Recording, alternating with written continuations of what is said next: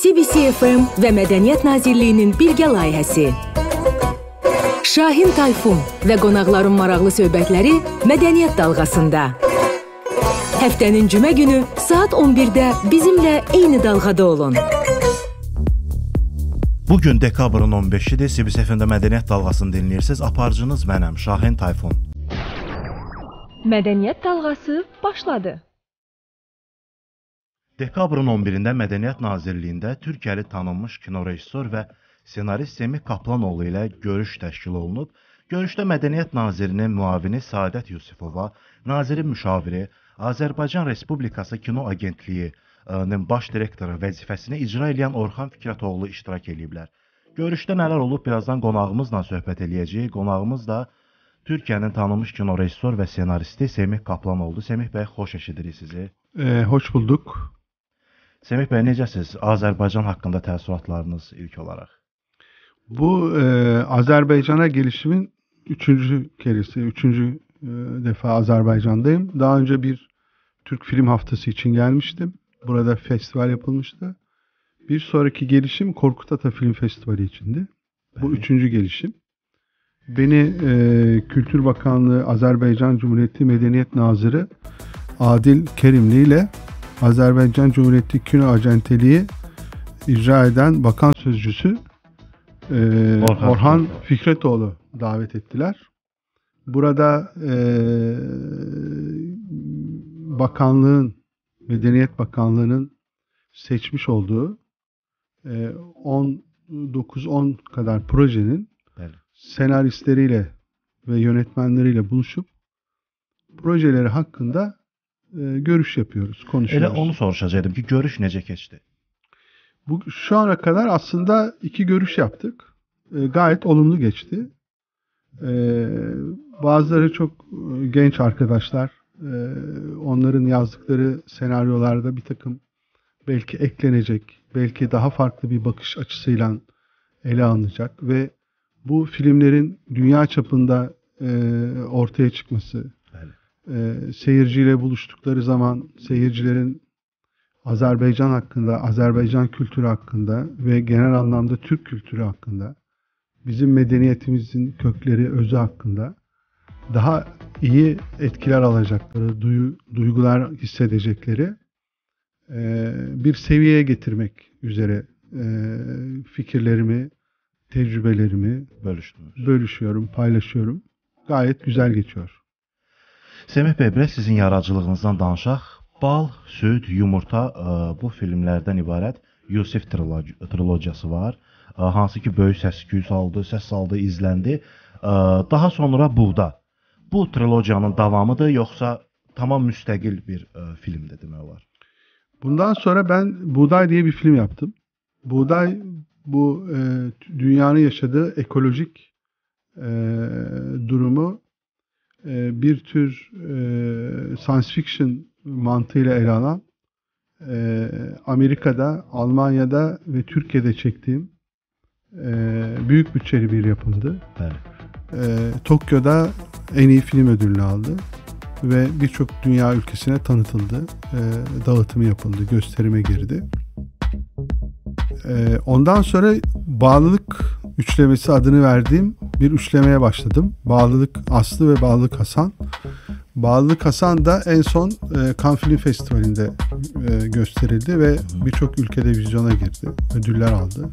Nə gözəl. Ee, şu anda yeni bir proje üzerine çalışıyorum. Bu projeye Azerbaycan da dahil olacak e, büyük ihtimalle. Onlar da katkı sağlayacaklar.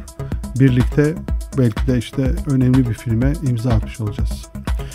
Semih bəy, ə, filmlərin adlarının açıqlaması nədir? Bir metafor olaraq, ə, süd, bal, yumurta, buğda.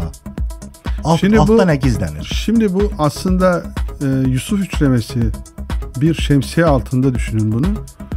Ee, Yusuf bir şair.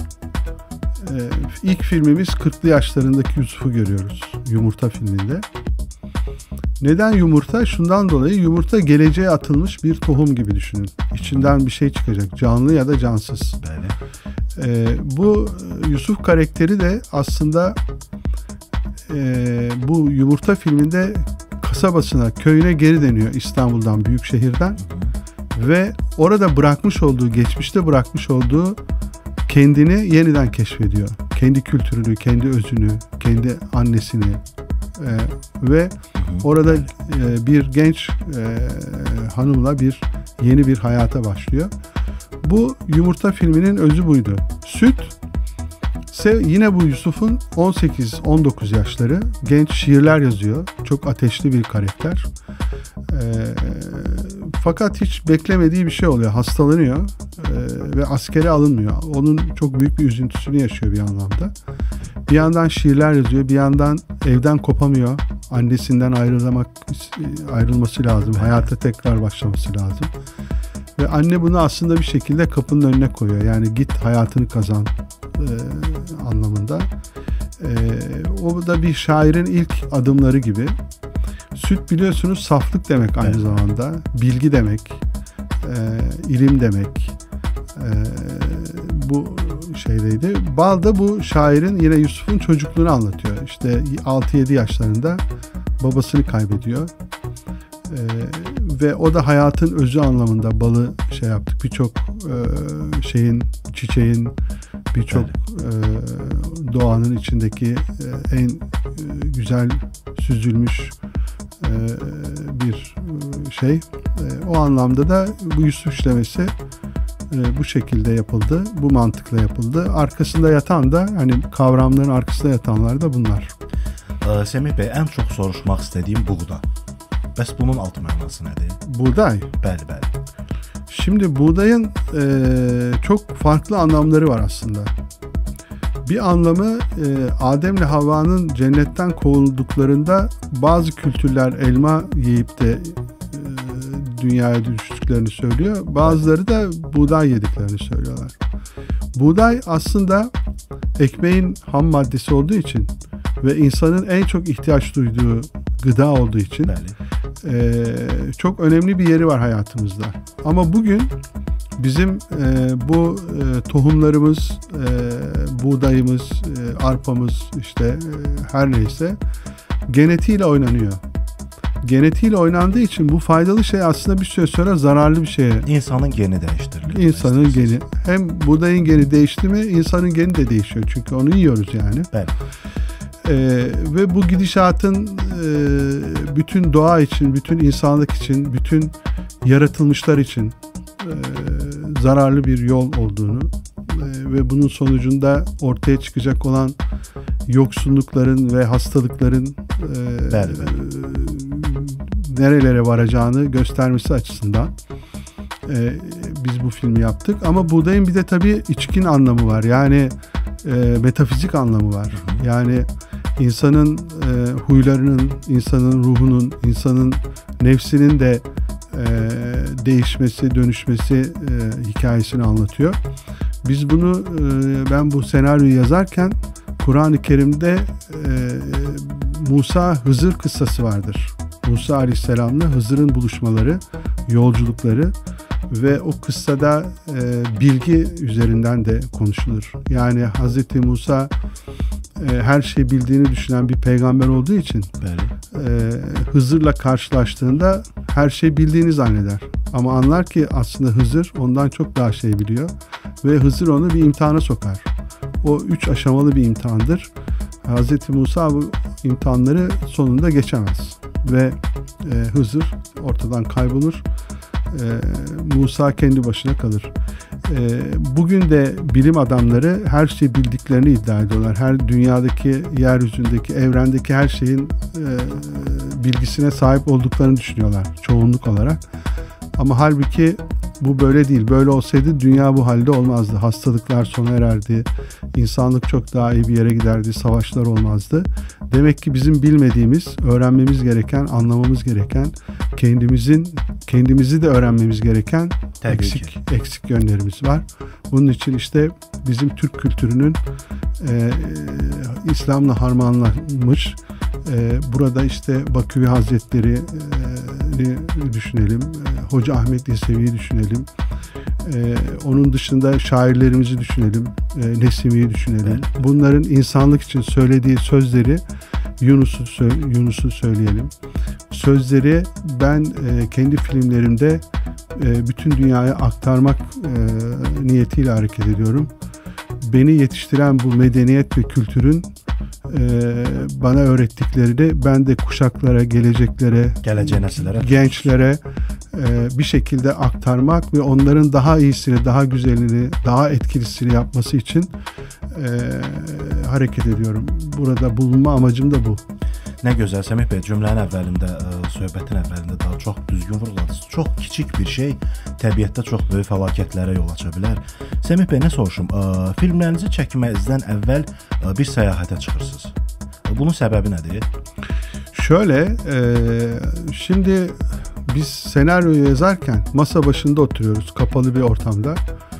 E, hayat kimse yok. Et kendi başına evin içinde konforlu, sıcak, güzel bir yerde oturup mesela dağ başında bir şey yazıyorsun. Ya şimdi orayı görmeden, oradaki insanı tanımadan, taşını, suyunu, toprağını, hayvanını, bitkisini evet. incelemeden, dokunmadan, nefes almadan oturup masa başında yazdığın şey çok iyi olmuyor.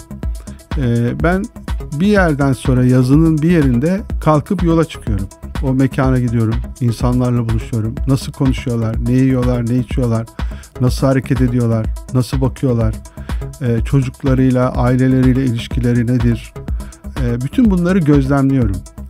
Oradan aldığım şeyleri de bu sefer yeniden senaryonun içine ekliyorum. Böylece daha bir hayat kazanmış oluyor. Aynı zamanda filmi çekeceğim yeri gözlemliyorum.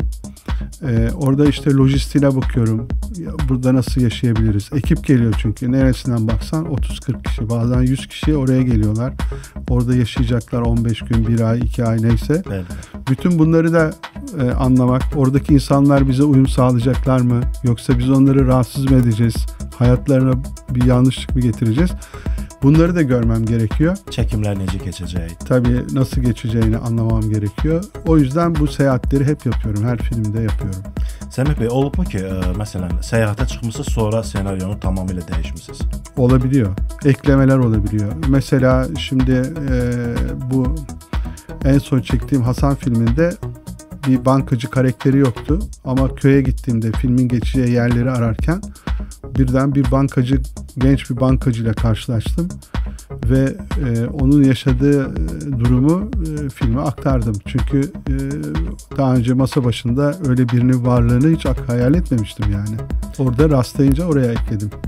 Səmih bəy, e, bir bunu danışa-danışa bir sual ağlıma gəldi. Buyur. Heç olubmu ki, Azərbaycana məsələn gəlmisiniz, e, buradakı hər hansı bir xarakteri fikirləşmisiniz ki, mən bunu gələcəkdə kinoda istifadə edəcəm, filmlərimdə istifadə edəcəm.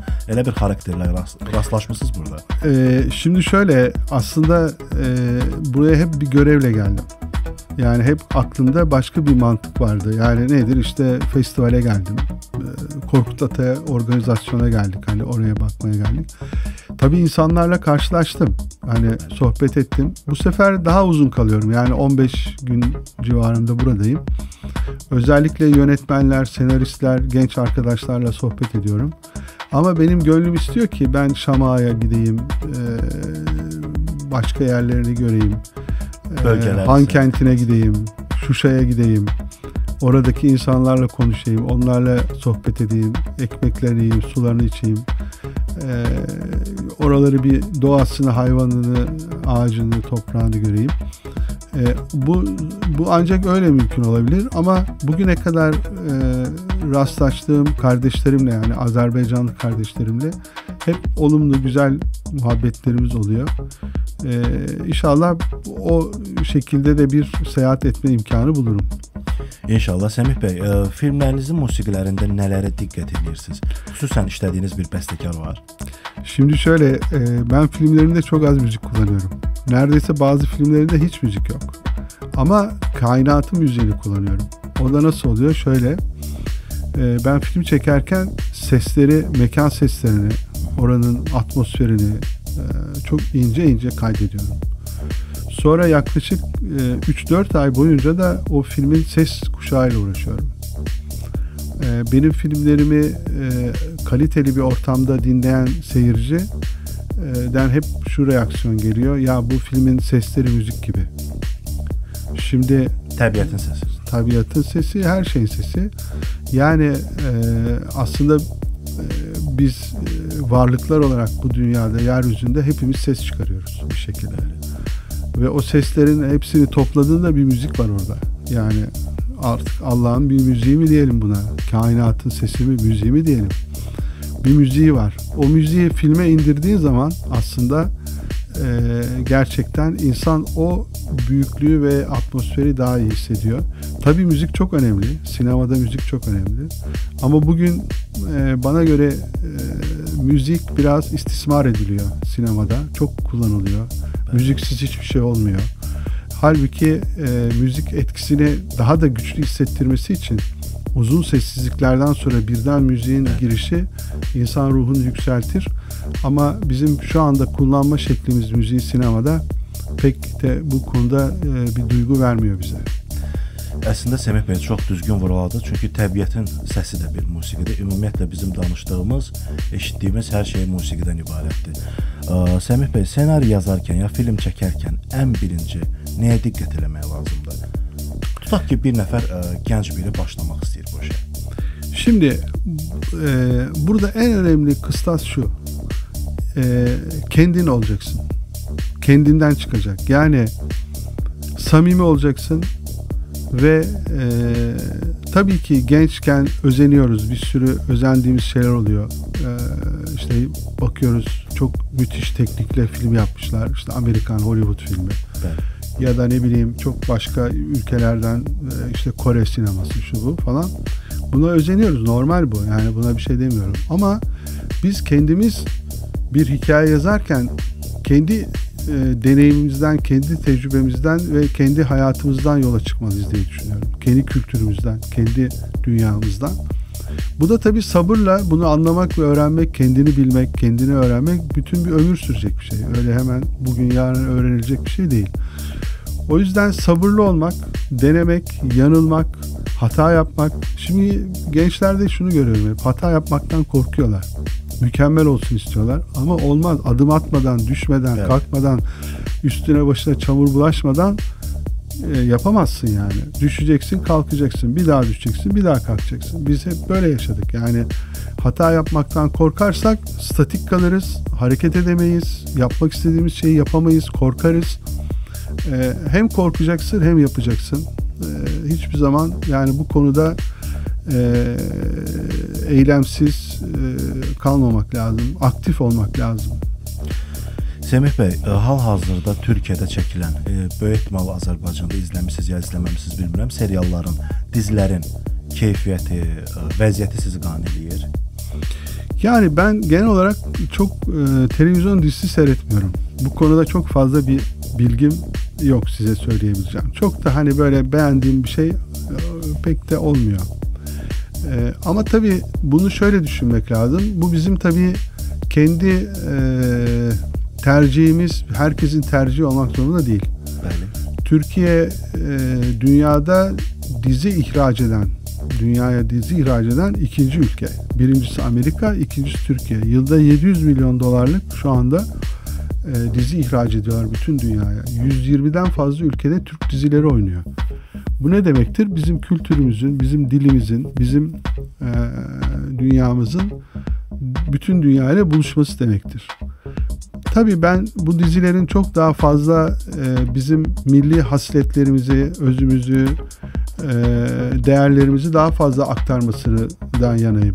Bu her zaman olmuyor. Çünkü popülerite evet. diye bir şey var, popüler kültür diye bir şey var. O popüler kültürün gereği olarak bir takım hayali şeyler de anlatılıyor gerçek olmayan yani. Bəli, bəli. Ee, ama e, bunun önemli olduğunu düşünüyorum. Bütün bunların içinde daha iyi şeyler de yapılabilir. Daha güzel şeylere yol açabilir.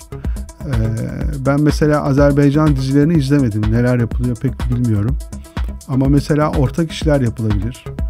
Hani biz sonuçta e, iki devlet bir millet e, geçen gün işte bu genç e, danıştığımız, konuştuğumuz arkadaşlarla konuşurken Bəli. E, dedim ki yani bir e, Azerbaycanlı e, delikanlıyla bir Türk kızının ya da bir Türk delikanlısıyla Azerbaycanlı bir kızın bir aşk hikayesinden güzel bir dizi yapılamaz mı yani? Niye yapılmasın? E, bunu e, ortak iki ülke birlikte kotarabilirler. E, bu konuda da mesela bizim daha çok işbirliği yapmamız lazım. E, daha çok ortak yapımlar meydana getirmemiz lazım. E, bunu bir eksiklik olarak görüyorum. Bu konuda adım atmamız lazım. Öbür kısımlarda atıyoruz, birlikte evet. hareket ediyoruz. Bu sanat kültür alanında da yapmamız lazım. Mesela Azerbaycan'ın müthiş bir müzik kültürü var. Hem caz müziği olsun, hem e, operası olsun, hem e, klasik müziği olsun, hem halk müziği olsun. Muganlar, e, müthiş bir müzik geleneği var. İşte bu müzik geleneğini de mesela bizim Türkiye'nin birazcık bu konuda e, oradan örnek alması gerektiğini düşünüyorum müzik alanında. E, çok yapılacak, birlikte üretilecek çok iş var. Təşəkkür edirəm Semih bəy. E, dalğamızı yeni düşən hər kəsə xatırlatmaq istəyirəm ki, qonağımız Türkiyənin tanınmış kino rejissor və ssenaristi Semih Kaplanoğludur. Biz də Qarabağın mədəni irsi rubrikasından sonra geri dönəcəyik. Qarabağın mədəni irsi. Kürdü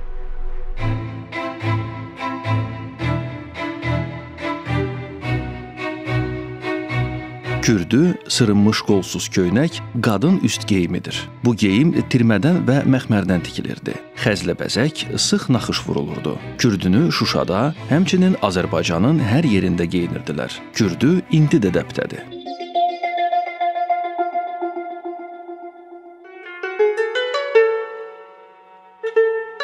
Qarabağın mədəni irsi rubrikası CBC FM və Mədəniyyət Nazirliyinin birgə layihəsidir.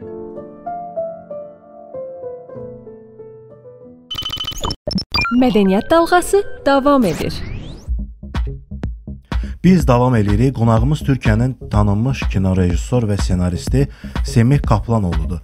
Semih bəy, ə, sosial platformalar dövrüdür. Bu film sektoruna necə təsir elədi? Xüsusən də pandemiyadan sonra. özellikle dijital platformlar bu işte Netflix olsun, öbürleri olsun Amazon evet. vesaire.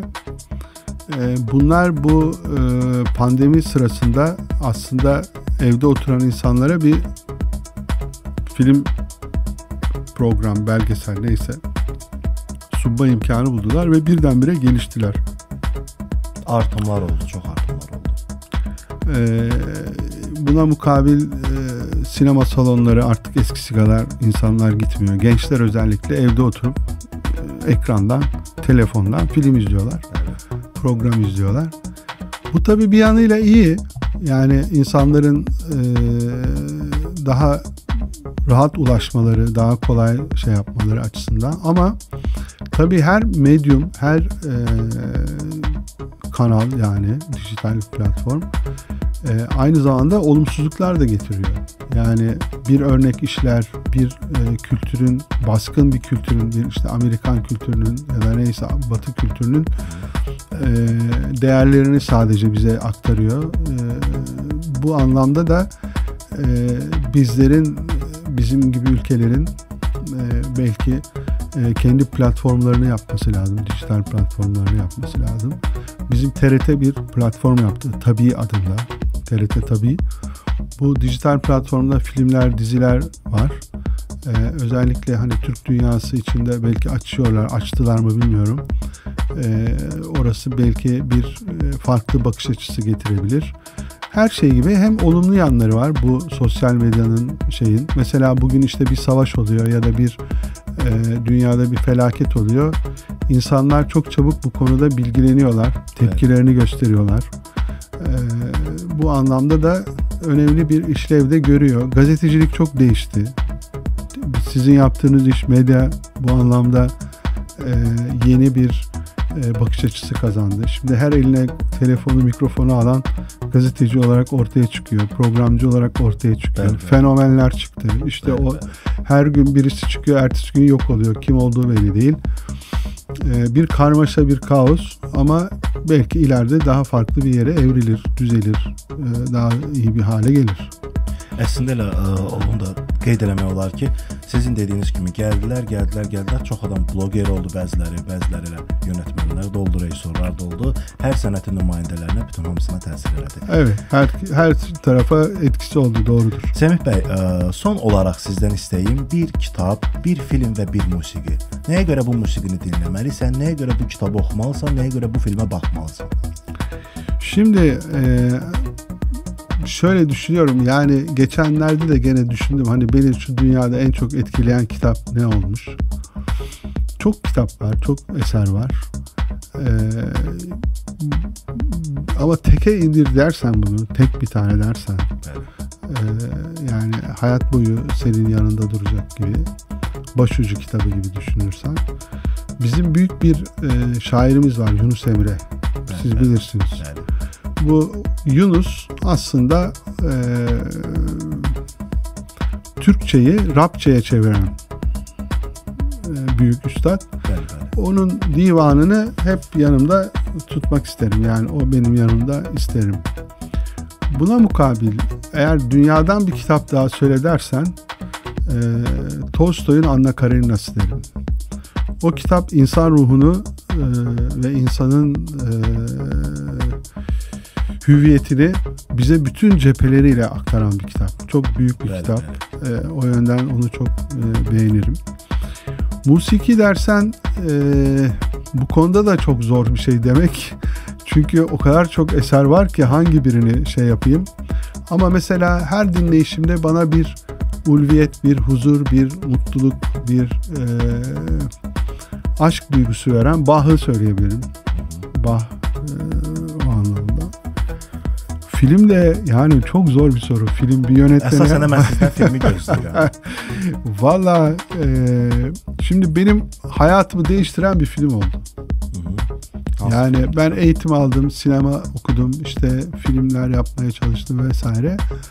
Ama e, 26-27 yaşında bir film seyrettim. Bütün hayatım değişti. Her şey değişti yani. Öyle büyük bir yumruk yedim. Bu da e, Rus yönetmen Tarkovski'nin Ayna filmiydi. Ben bunu herkese tavsiye ederim hani görmeyen varsa. Çünkü bunda hem şiir var, hem insan var, hem hayat var, hayatın özü var. Ee, büyük bir e, iş. Ee, o filmi söyleyebilirim. Semih bəy sizə təşəkkür edirəm pozitiv söhbət üçün, gəldiyiniz üçün, maraqlı söhbətə görə. Ee, ben de size çok teşekkür ederim. Beni davet ettiğiniz için, e, fikirlerimi söylememe yardımcı olduğunuz için. Umarım her zaman en güzel şekilde programlarınızı sürdürürsünüz. Təşəkkür edirik Semih bəy. Bugünkü qonağımız Türkiyənin tanınmış kino rejissor və senaristi Semih Kaplanoğlu idi. Biz də gələn həftənin cümə günü yenidən görüşünüzə gələcəyik. İndi isə sağ olun. Hələlik.